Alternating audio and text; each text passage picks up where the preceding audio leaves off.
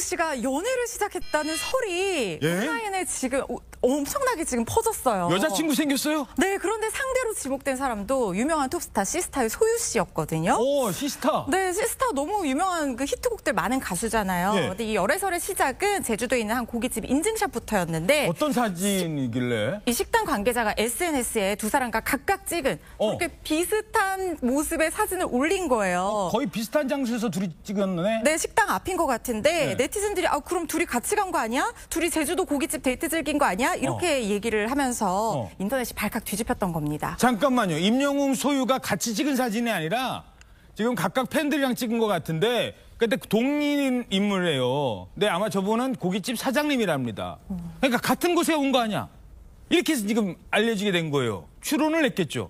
야 고깃집 하나 같이 갔는데 열애설까지 간 거예요? 그런데 예전에 이 두 사람이 함께 했던 장면이 다시 한번 소환이 되고 있습니다. 어허. 이 TV조선의 뽕숭아 학당에 두 사람이 출연했을 때요. 미니게임을 통해서 짝꿍으로 함께 노래를 불렀는데요. 예. 그때 쿨의 애상을 부르는데 상당히 두 사람 다 뭐 엄청난 가창력의 소유자다 보니까 그 예. 감동을 주는 무대를 선사했는데 예. 그 무엇보다 이 두 명의 가수가 함께 열애설이 났다는 거에 정말 들썩이고 있고 특히나 임영웅 씨의 많은 팬들이 놀라셨을 것 같습니다. 그러니까요.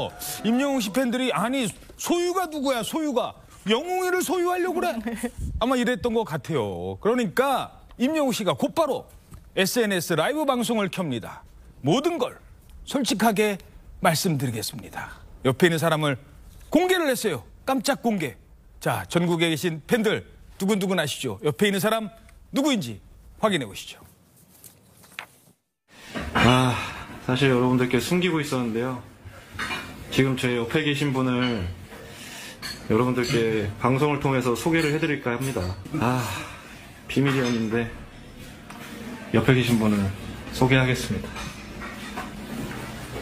안녕하세요. 반갑습니다. 작곡가 조영수라고 합니다. 어제부터 너무 맛있는 거 많이 먹고 네, 음악 얘기 많이 하고 있습니다. 네. 회도 먹고 어제 고기도 먹고 그래서 이렇게 놀러 왔다고 알려드리려고 방송을 좀 켰습니다.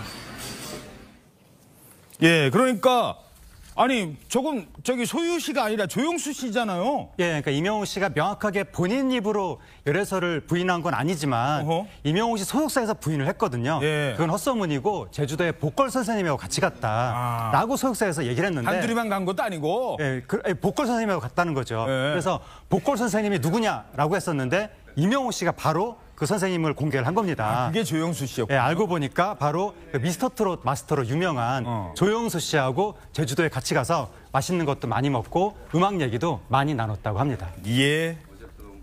놀라셨죠? 아니라고 합니다.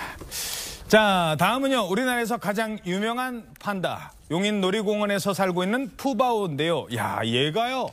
동생이 생겼대요. 함께 보시죠. 마이바오 많이 힘들어 너무 잘하고 있어. 마이바오 밤새 지켜줄 테니까 걱정하지 마